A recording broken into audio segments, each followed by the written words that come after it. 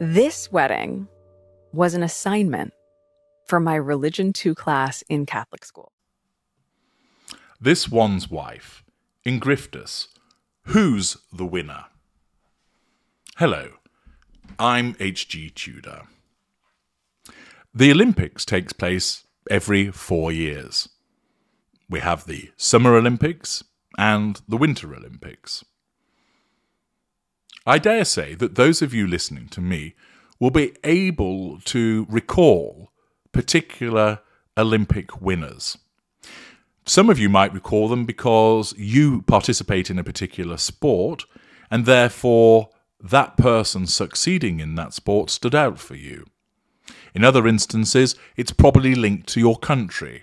So, for instance, if you're from the United States, you're likely to remember the medal winning activities of Carl Lewis, who won nine golds and a one silver medal, or Michael Phelps with his record breaking 23 gold medals from swimming. Then again, if you're British, you may well think about Chris Hoy with all of the medals that he has won for cycling, or Jason Kenny, who won seven gold medals. If you're from the Soviet Union, as was, you would be thinking of Boris Shakhlin from gymnastics, who won seven golds. If you're Norwegian, the names of Marit Bjorgen, or Ole Einar Bjorndalen, or Bjørn Dæhlie will spring to mind as winning multiple gold medals at cross country skiing and biathlon, or biathlon, as the Norwegians would say. The Japanese, you might think of Sawao Kato. If you're Hungarian, Aladar Gerevich, the fencing expert, might spring to mind if you're a particular old age and recall all the way back with those victories. There'll be others, perhaps, that you recall not so much as them winning lots of medals, but perhaps putting in a particularly memorable performance. That you might remember, for instance, the competitiveness that took place between Sebastian Coe and Steve Ovett of Britain in the middle distance Olympic middle distance running events in the Olympics. Many of you will remember particular medal winners and competitors in the Olympics over the many years that it has run as a consequence of loyalty to your country, particularly notable performances, spirited comebacks, people winning against the odds, the fact that they've won a lot of medals, that they competed in some of the more prominent events, for instance, the 100 metres, and therefore this is what sticks in your mind. If I was to ask you now just to write down five notable Olympians, I'm pretty certain you would be able to provide that list, leaving out, of course, what I've already mentioned. That if I was to do this at the beginning and say, right, before we go anywhere, write down five Olympians that you can name, five people who've competed in the Olympics. Doesn't necessarily even need to be people who've won medals, but I bet you could name them. Now I'm going to ask you to name five people who have competed in the Invictus Games. Take your time, think it through. Who is there that you can name that's either competed or has competed and won medals? Do you recall where they're from? Can you name five? I couldn't even name one. And of course, I've read coverage of it. Some of you might be able to name maybe one or two, I suspect, but I think you'd be hard pressed to either name some and certainly five. Now, of course, the Olympics is far bigger than the Invictus Games. It's been established for a much longer time, and it is the global sporting event alongside the World Cup.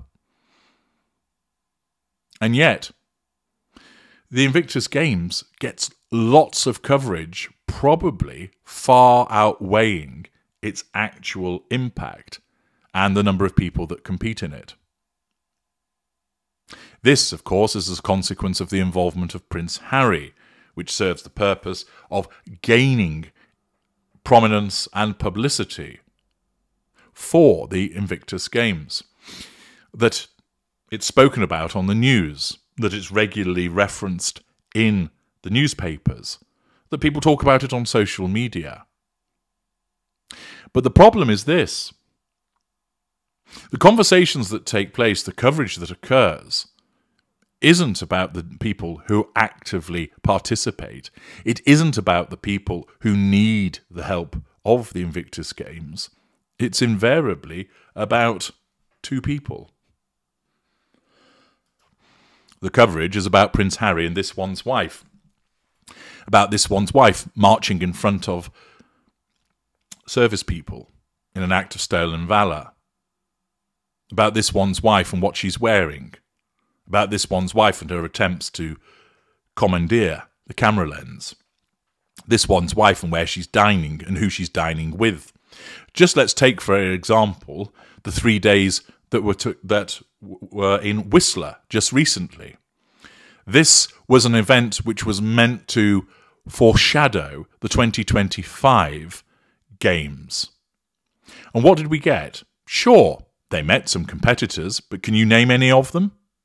Sure, they were seen out and about with some of the competitors on the slopes, and we saw Harry turning his hand to a couple of events.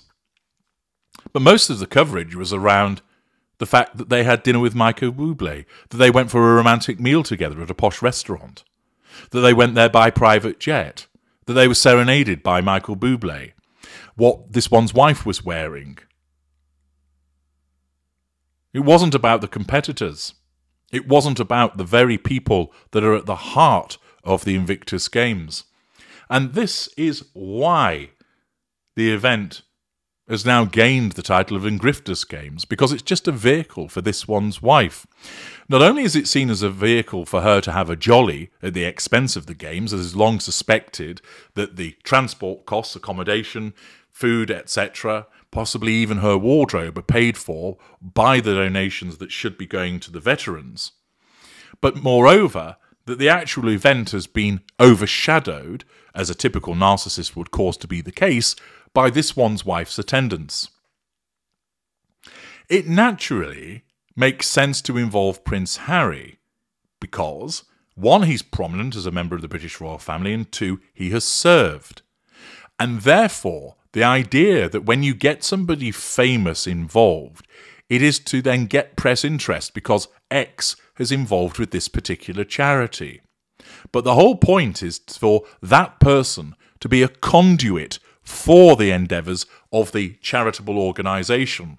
To say, I'm involved and I want you to listen to me tell you about what this organisation does, the people that it helps, what it's actually achieving, and how you can help also.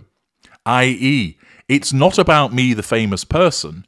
I'm just the gateway to enable all of you in the media to come and pay attention to what's going on because I'm publicising it.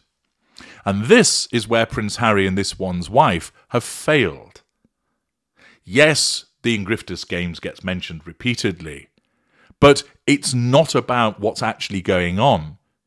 It's not about the fundraising, and it's certainly not about the very people it should be about, so that we know who these competitors are, that we know who the medal winners are, so that they gain prominence, they fade into the background as a consequence of all of the frippery associated with this one's wife. Thus, when you ask, who's the winner? You're unable to tell me in relation to who those actual medal winners are from the Invictus Games, but you can certainly see that the winner would be likely to be viewed as this one's wife because she gets her expenses paid, she gets three days of prominence in the world's media, albeit with attendant criticism, which is challenge fuel. But of course, there's plenty of outlets that report on her favourably, from her hair colour change to her fashion to just talking about her being on the slopes. And thus, typical of a narcissist, she absorbs everything about the event to make it about her and overshadows the very people that it should be about, with the result that when I pose the question, who's the winner, you can't answer it. I'm H.G. Tudor. Thank you for listening.